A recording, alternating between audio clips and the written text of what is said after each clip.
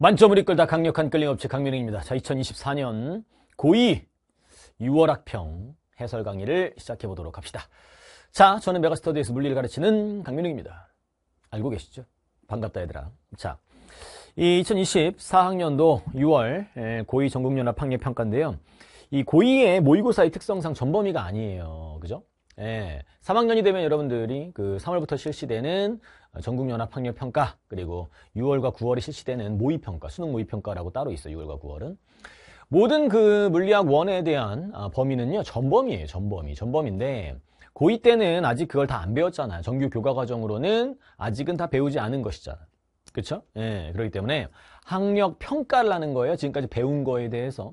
그러다 보니까 범위가 1단원도 채 다 안 들어갔어요. 특수상성 이론도 없지 않습니까? 그렇죠? 예, 그래서 지금까지 공부한 것들, 물리 공부 잘했는지에 대한 점검, 예, 중간 점검 성격이 강한 것이 바로 이 고2 예, 6월 학평이 되겠습니다. 그래서 출제 경향을 간단하게 살펴보면 범위는 1단원 역학과 에너지의 파트 2, 열과 에너지까지입니다.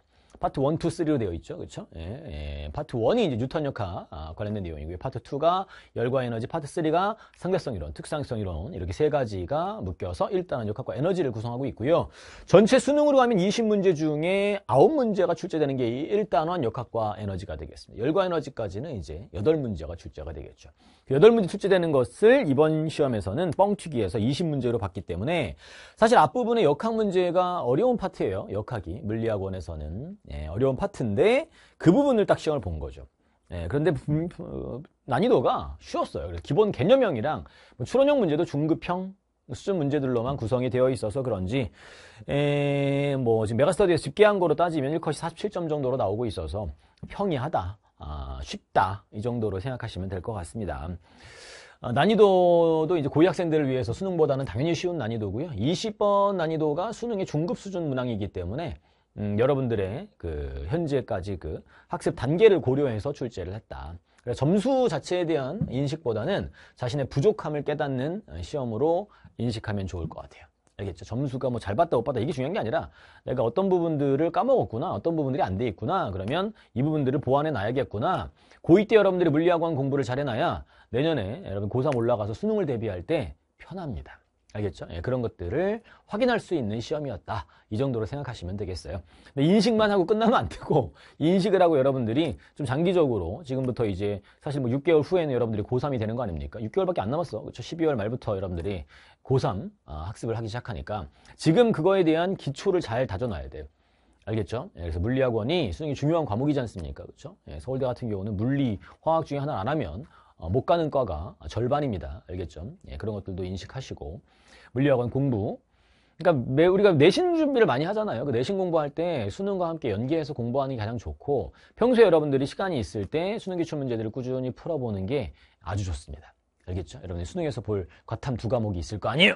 그거에 대해서 미리미리 기출 문제들을 반복해 두시면 정말 큰 도움이 된다. 알겠죠? 네. 자, 아, 문제들은 20문제 중에 일단 10문제 정도를 풀 거예요. 10문제 정도를 풀 건데 정답률이 10문제가 정답률 한70% 미만인 것들을 다 풀겠다 라는 얘기예요.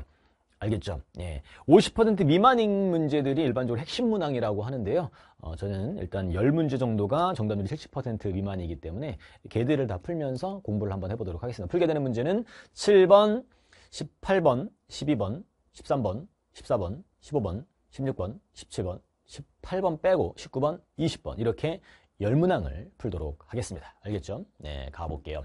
7번부터 시작해 보도록 합시다. 7번 문제는 이거 수능에서도 항상 출제가 되고 있는 작용반작용이랑 힘 분석하는 문제. 얘들을 용철 압축했거든요. 압축하게 되면 용철이 양쪽으로 위아래로 똑같이 밀어요. 그래서 분석을 좀 해봤을 때 용철이 이렇게 있잖아요. 압축이 되어 있다 그랬어. 압축이 되어 있으니까 좀 크게 그려볼게요. 이렇게 크게 그려볼게. 이 용수철이 압축되어 있으면 원상태로 돌아가려고 하니까 이 위아래를 동일한 크기로 밀어요. 그러니까 천장도 민단 말이야. 알겠죠? 예, 용수철 압축해가지고 천장 이렇게, 이렇게 밀어봐. 그러면 용수철이 천장도 밀 거 아니야. 근데 용설은 원래 에, 원래 길이로 돌아가려는 어, 탄성력, 복원력이라고 하죠. 탄성력이 있는데 그 크기는 항상 같다라는 것을 명심하셔야 돼요. 알겠죠? 예, 이렇게 이렇게 본단 말이야. 근데 이 물체에 대한 힘을 분석하시면 물체만 딱 봐주셔야 돼요. 그리고 손바닥이 이 녀석을 떠받치고 있지 않습니까? 손바닥이 떠받치는 힘이 있을 거야. 알겠죠? 손바닥이 떠받치는 힘이 있고, 아, 손이 물체를 떠받치면 물체도 손을 누르겠지. 여기서 작용반작용이 나타나. 모든 힘은 주어랑 목적어를 바꾸면 작용반작용이에요. 손이 A를 떠받쳤다? 그러면 A가 손을 누르고 있다. 이런 거죠. 근데 그, 이 힘을 항상 이 경계에다가 표시하면 여러분 되게 헷갈리고요. 예. 작용반작용을 표시할 때는 약간 띄어서, 음, 이게 지금 손이 받는 힘이야. 이걸 손이라고 합시다. 손. 손, 손이 얘를 떠받치면 얘도 손을 누른다. 이 크기도 같다는 얘기예요. 작용반작용으로. 그러나 이건 손이 받는 힘이고 이건 물체가 받는 힘이죠. 괜찮아요? 그리고 중력이라는 게 있어. 이 녀석의 질량이 m이라고 하면 우리가 mg를 중력이라고 하지 않습니까? 화살표 바깥으로 튀어나가도 되는데 얘가 받는 중력, 중력은 이 녀석이 받는 거니까 점을 얘한테 찍어주는 게 중요해요. 바깥에 화살표 표시하면 여러분 되게 헷갈린다. 알겠죠? 이게 중력이야. 근데 이 중력은 풀었어야 돼. 항상 중력이라는 거는 지구가 물체를 당기는 힘이거든요. 질량 있는 물체들은 서로 끌어당기는 만유 인력이라는 게 있잖아요. 그렇죠? 어, 그것 중에 행성 스케일에 나타나는 만유 인력을 우리는 중력이라고 한다. 그래서 지구가 물체를 당기는 힘이 mg면 그거의 반작용은 물체가 지구를 당기는 힘이야. 알겠죠? 반드시 얘가 받는 중력의 반작용 그러면 지구가 등장을 해야 돼요. 물체가 지구를. 알겠죠? 예, 다른 힘들 가지고 와서 지구가 없는 다른 힘 갖고 와서 반작용이지? 라고 하면 틀렸다고 하셔야 됩니다.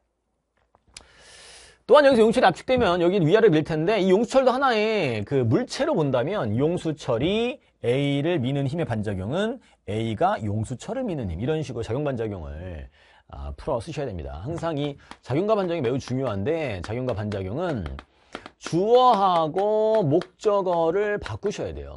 주어하고 목적어를 바꿔서 우리가 아, 분석을 하셔, 하셔야 된다. 자 볼게요. 기억. 아, 물론 얘는 이제 이 녀석만 보잖아요. 이 녀석은 정지에 있으니까 이 녀석이 받는 이 A가 받는 물체의 시그마 F 합력은 0이다 라고 하셔야 됩니다. 알겠죠?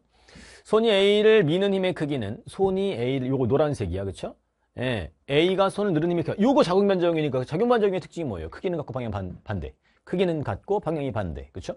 내가 떠받치면 얘도 누른다. 알겠죠? 기억은 맞는 답이 되겠어요. 니은 지구가 A를 당기는 힘. 어, 지구가 A를 당기는 힘이 이게 중력이야. 그의 반작용은 A가 지구를, 지구가 꼭 등장을 해야 되는데 손이 A를, 손과 A가 나왔잖아요. 그쵸? 예, 손이 A를 미는 힘 반작용은 A가 손을 누르는 힘이지 중력은 아니다. 그래서 틀렸다. 아, 힘의 평형 관계를 묻네요. 아, 큰일 날 뻔. 힘의 평형, 이것도 알아야 돼. 그쵸? 힘 평형.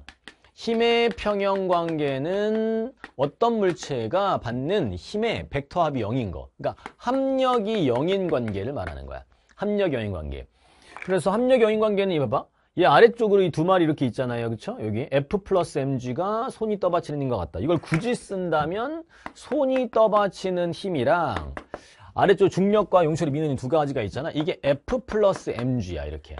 알겠죠? 요 크기가 똑같아. 요 녀석을 힘의 평형 관계라고 해요. 이거를 힘의 평형 관계라고 한다고. 손이 떠받치는 힘과 F 플러스 mg. 요거, 요거랑 요게 힘의 평형 관계다라는 얘기입니다. 됐어요? 알겠죠? 아, 지구가 A를 당기는 힘. 그러면 지구가 A를 당기는 요거잖아. 요거하고 손이 A를 미는 요게 평형 관계냐고 물어본 거야. F를 빼먹었죠. 그쵸? 틀렸습니다. 괜찮나요? 그래서 답은 기억이 일단 맞고 니는 틀렸다. 디귿. 용수철이 천장을 미는 힘. 용수철이 천장을 미는 힘과 용수철이 A를 미는 힘은 작용하죠. 아, 용수철이 천장을 미는 힘의 반작용은 천장이 용수철을 미는 힘. 이렇게 천장, 주어 목조가 바뀌었다니까.